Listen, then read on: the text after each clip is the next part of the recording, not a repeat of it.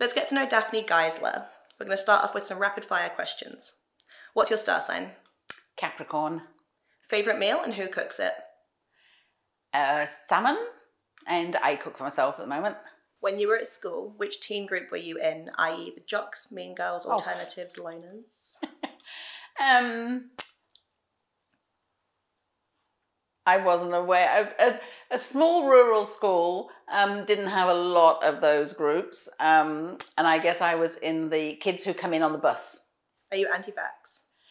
No, I'm not anti-vax. I've had my vaccinations. Last TV show or movie you watched?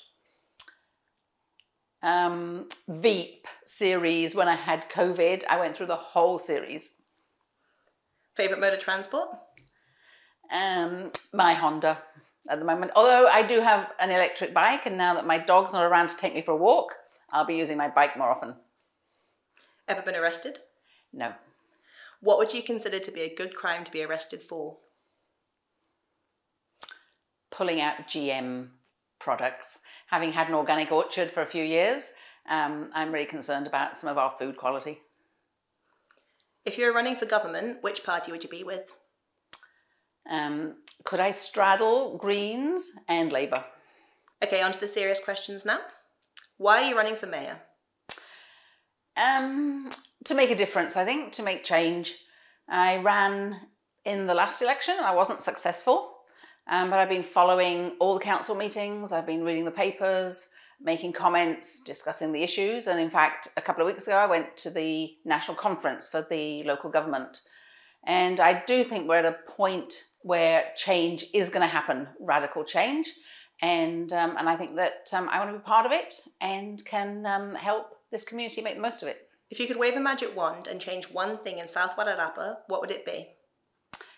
Better communication. A lot of our problems, I think, stem from the fact that um, we've had a power and control mentality rather than a collaborative, communicative, partnership approach to our problems. Um, I heard a lot at the conference I mentioned about the fact that local communities know their local problems. Often they know the solutions and they just need facilitation for getting them resolved. And I think we need to do a lot more listening and a lot more communicating. If you win the election, what issue will you make your number one priority and how do you plan to go about it? Um, changing that culture. And I think you can go about it by walking the talk, by getting out into the community. Um, I think that um, we can hold our meetings out in the community. We can have lots of opportunities for engagement.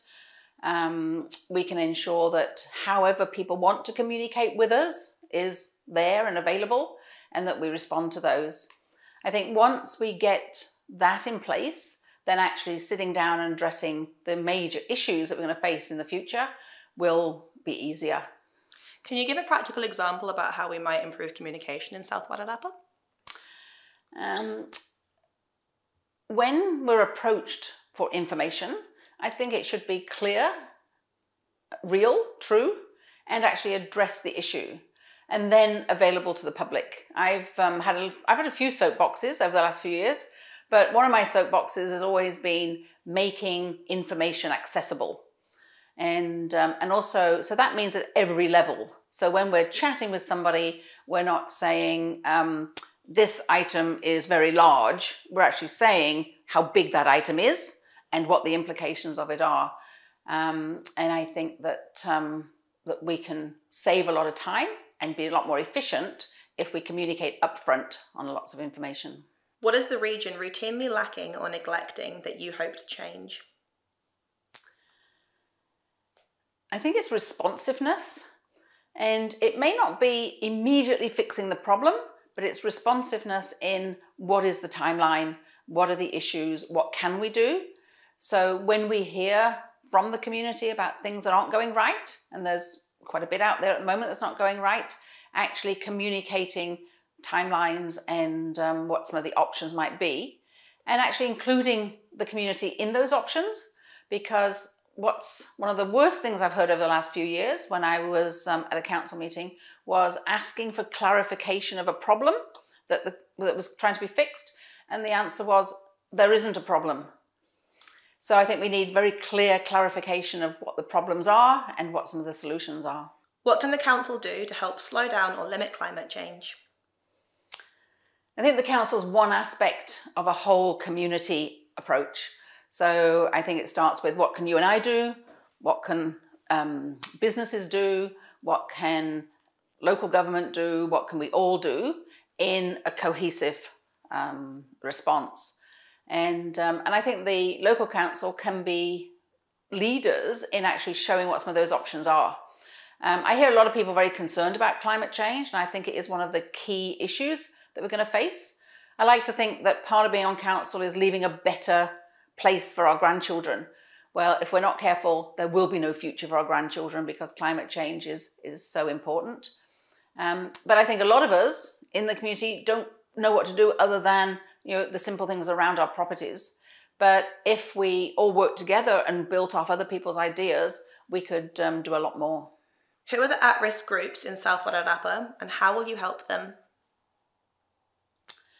Um, I think it spreads across the community in each group. So if you look at the young, I think that um, we do need to take care of the children in the area, and um, and that might be through um, health aspects. It might be through cultural, you know, fun and community activities. It might be through making sure they've got a good environment to run around and play in um, all the way through to the elderly. And, um, and that is a group that will be growing in the Wairarapa in the future, and we need a much more cohesive response to how we take care of the elderly, both in their homes and in facilities. What is your stance on Three Waters, and how could council do a better job?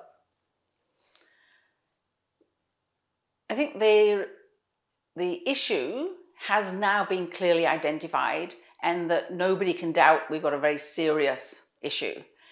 Um, I always go back to, I think it was Henry Ford who said, if you keep on doing what you've always done, you'll always get what you've always got. And, um, and we need radical change. And I see this reform as that radical change. And hopefully we'll then get radical solutions. I know it's very complex, it's very tricky, there's lots of things that aren't clarified yet. But, um, but I think with the partnership approach in our community, um, we've got the opportunity to um, fix some of the problems that aren't going to get fixed otherwise. So, would you say you're for or against? I'm for the reform. What is an issue that's most important to you personally, not necessarily the region, and why? I think it's loss of opportunity. Um, I think that that leads to waste and um, concern and crisis in people's lives. And if we don't look at some of the problems that we face as opportunities um, with a much more optimistic view and, and include the community in those issues, then we've lost opportunities. And that's going to be the saddest thing um, that we look back on and say we could have done better. Is there anything else you'd like to say in terms of the upcoming elections? I'd like for people to ensure that they are registered.